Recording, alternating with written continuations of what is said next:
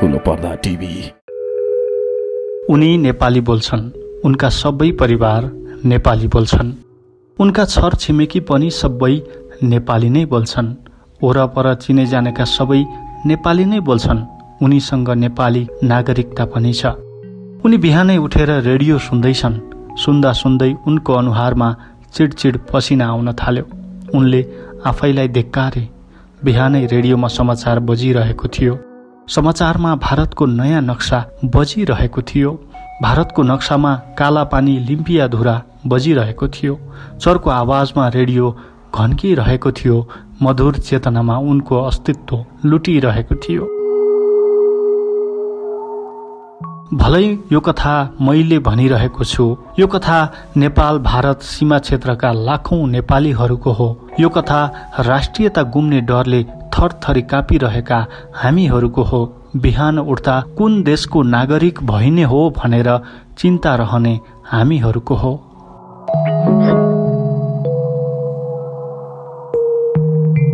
काला पानी यो नाम सुन्दा हरेक सच्चा नेपालीको मन भारी भएर आउँछ। सायद तपाईँको पनि त्यस्तै भयो होला। बेला बखत चर्चामा आउने तुरुन्तै हराउने फेरि केही समयपछि बहसको विषय बन्ने तर कहिल्यै नसुल्झने मुद्दाहरू हामी कहाँ थुप्रै छन्। कालापानी पनि त्यस्तै मध्येको एक हो। लामो समय कालापानी पत्रिकाको पानामा सीमित थियो। राजनीतिक दलका नेताहरू त सकभर यो प्रकरणतर्फ फर्कनै चाहेनन्। देशीय वार्ताको कार्यसूचीबाट पनि यो हटे सरह नै छ तर यति बेला भने यो विषय पुनः सर्किएको छ। कालापानी नेपालको सुदूरपश्चिमको दार्चुला जिल्लाको उत्तर पश्चिममा अवस्थित भूभाग हो जहाँ नेपाल सरकारको असहमतिका बीच भारतले आफ्नो सुरक्षा फौज तैनाथ गरेको छ। अठार सय सोह्रमा नेपाल र इस्ट इन्डिया कम्पनी बीच भएको सुगौली सन्धिले नेपालको पश्चिम सीमा महाकाली नदीलाई बनाएको छ। महाकाली नदीभन्दा पश्चिममा भारतको उत्तराखण्ड राज्य पर्दछ तर महाकालीको मुहानका बारेमा विवाद सिर्जना गरिएको छ।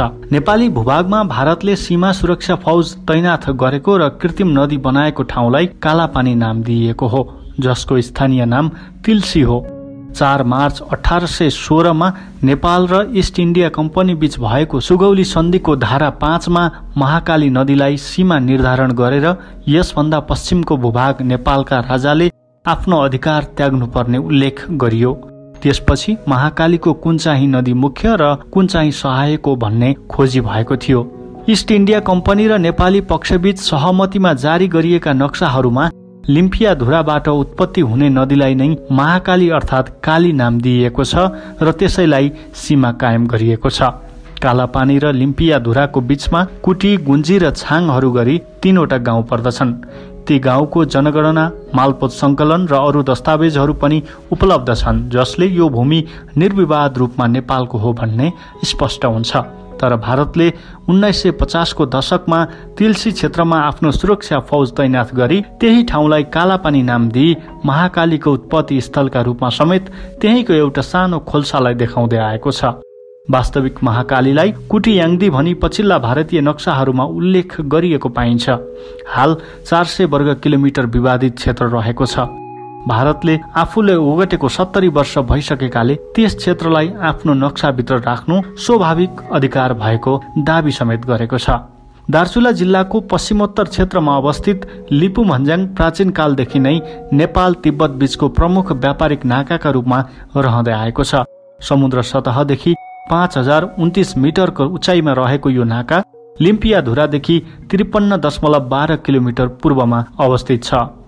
लिम्पियाधुरा भन्ज्याङ पनि पाँच हजार पाँच सय बत्तीस मिटर उचाइमा छ। जुन महाकाली नदीको प्रमुख जलाधार एवं उद्गम भन्दै सुगौली सन्धिपछिका ब्रिटिस इन्डिया सरकारका विज्ञ अधिकारीहरूले गरेका अध्ययन र नक्साङ्कनहरूमा उल्लेखित छ। अमेरिका स्थित Washington डिसीको library of Congress geography and map division तथा लन्डनको British library India of records and कलेक्सन्समा यस्ता कैयन पुराना नक्सा छन्। सन् अठार सय साठीसम्ममा निर्माण भई प्रकाशित गरिएका नक्साहरूमा भएको विवरण अनुसार लिम्पिया धुरासम्मको भूभाग नेपालकै देखिन्छ किनभने यी नक्सामा लिम्पिया धुराबाट उद्गम भएको नदीलाई काली नदी भनी अङ्कित गरिएका छन्। सन् उन्नाइस सय तिनमा प्रकाशित चीनको प्राचीन एटलासमा पनि लिम्पिया धुराबाट उद्गम भएको नदीलाई नै सिमाना मानि त्यस पूर्वको भूभागमा नेपाल लेखिएको छ। भारतले कालापानी लिम्पियाधुरा क्षेत्र नेपालको हो भनी नमानेर आफ्नो नक्सामा राखेको छ तर पुराना नक्सा दस्तावेज पत्राचार जग्गाको तिरो तिरान तत्कालीन जनगणनाका आधार प्रमाणमा यो नेपालकै भूभाग ठहरिन्छ।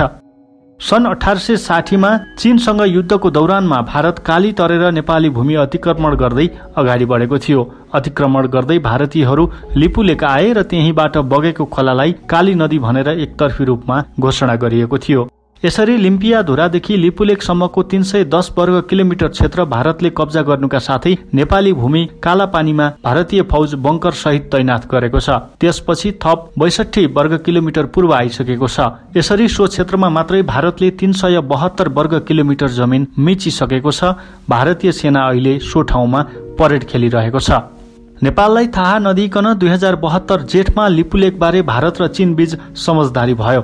त्यति बेला नेपाल भूकम्पको चपेटामा पिल्सिरहेको थियो। देश विदेशमा सहयोगको हार गुहार गरिरहेको थियो। सोही बखत चीनमा भने भारतीय प्रधानमन्त्री नरेन्द्र मोदीले चिनिया समकक्षीसँग एक जेठमा एकचालिस बुधे समझदारी गरे। समझदारीको अठाइसौं बुधामा भनिएको छ सीमा व्यापार दुवै देशका बासिन्दाको तीर्थाटन र अन्य आदान प्रदानका माध्यमबाट आपसी विश्वासलाई प्रभावकारी रूपमा प्रवर्धन गर्न सकिने कुरामा दुई पक्ष सहमत भए। साथै सीमालाई सहकारिता र विनिमय पुलका रूपमा विस्तार गर्दै सम्बन्धलाई अझ विस्तार गर्ने कुरामा पनि एकमत भए। दुवै पक्ष व्यापार वस्तुको सूची बढाउन वार्ता गर्न र नाथुला च्याङ्ला लिपुलेक नाका र सिप्लिकामा सीमा व्यापार बढाउन पनि राजी भए। सामान्यत तीन हजार तीन सय अस्सी किलोमिटर सीमा जोडिएका दक्षिण एसियाका दुई ठूला अर्थतन्त्र बीच यस्तो समझदारी हुनु न नौलो विषय हो न त वर्जित नै मान्न सकिन्छ। तर माथिको बुदामा उल्लेखित च्याङ्ला लिपुलेक नेपालको दार्चुला जिल्लाको पश्चिमोत्तर भागमा अवस्थित चीनसँग जोडिएको सीमा नाका हो। यही लिपुलेकको दक्षिण फेदीमा भारतीय Indo Tibetan border police ITBP त्रिपन्न वर्षभन्दा अघिदेखि शिविर स्थापना गरी बसेको छ। त्यो पनि नेपाली सिमानाभित्र प्रवेश गरेर। कालापानी हुँदै लिपुलेक नाकाबाट प्राय सबै मौसममा तिब्बततर्फ आउजाउ गर्न सकिन्छ। कैलाश मान सरोवर जाने भारतीय तीर्थयात्रीका लागि पनि सबैभन्दा नजिकको बाटो नै यही हो। चीन र भारतको राजधानी दिल्लीलाई जोड्ने सबैभन्दा छोटो दूरीको नाका पनि यही हो। त्यसैले यसको धार्मिक व्यापारिक र सामरिक सबै काले महत्व छ र सायद यसै कारण भारतले यो क्षेत्र नछाड्न मरिहत्ते गर्दै आइरहेको छ। दुई हजार चौन्न सालमा महाकाली सन्धिलाई प्रतिनिधि सभाबाट अनुमोदन गरिँदा सँगै पारित राष्ट्रिय संकल्पमा महाकालीको उद्गम तय गर्ने अर्थात् काला पानीको विवाद टुङ्ग्याउने प्रतिबद्धता जनाइएको थियो। तर त्यसलाई कार्यान्वयन गर्ने अग्रसरता कहिले कसैले लिएन। त्यसै वर्ष भारतका उदारवादी प्रधानमन्त्री इन्दर कुमार गुजराल काठमाडौँ आउँदा कालापानी द्विपक्षीय वार्ताको कार्यसूचीमा चढ्यो। नेपालको संसदीय टोली पनि कालापानी निरीक्षणमा पुग्यो। अखिलको विद्यार्थी टोलीले त त्यहाँ गएर खुकुरी नचाउँदै राष्ट्रवाद प्रदर्शन गर्यो। त्यसैलाई बाहना बनाएर भारतीय पक्षले अझै वरसम्म तारजाली लगायो तर नाराबाजी जति गरियो त्यस अनुरूप नेपालले कुटनीतिक प्रयास गर्न भने सकेन या चाहेन। त्यहाँ कुनै नेपाली नागरिक जानै पाउँदैनन्। त्यस क्षेत्रमा भारतीय सेनाका क्याम्प छन्। पुरै पक्की भौतिक संरचना नै निर्माण भएका छन्। सो क्षेत्र पूर्ण रूपमा उनीहरूको कब्जामा छ। उनीहरूले कालापानीबाट लिम्पिया धुरासम्म पुग्ने बाटो नै निर्माण गरेका छन् मन्दिर पनि बनाएका छन्। कालापानी क्षेत्रमा भारतीय सैनिकले कब्जा जमाएको विषय नयाँ होइन तर नक्सामै जसरी पारियो यो हाम्रो अस्तित्वमाथिको चोटिलो प्रहार हो।